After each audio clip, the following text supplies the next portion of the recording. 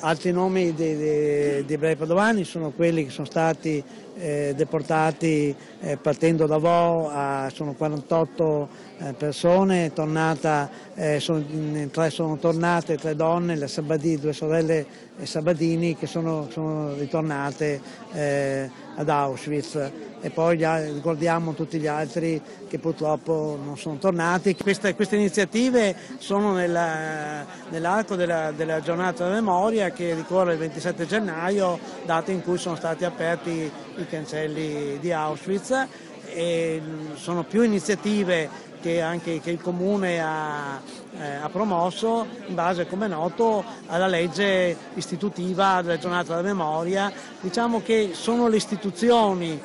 le scuole che eh, si fanno promotrici eh, di, queste, di, queste, iniziative. Eh, diciamo che noi ebrei ovviamente partecipiamo eh, e, e, portiamo la nostra testimonianza, ma è, l'istituzione pubblica che, che, che ricorda questi, questi, tragici eventi che hanno colpito eh, l'Italia e l'Europa. La comunità ebraica padovana, pur eh, numericamente limitata nel numero delle persone, non sono mai state numerose,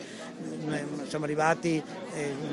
negli anni 30 a, 200 persone, eh, però è sempre stata molto attiva nell'ambito padovano ed era, molto integrata eh, nella, nella, nella, città, nella, città, e molti ebrei hanno, ricoprivano anche cariche eh, rilevanti.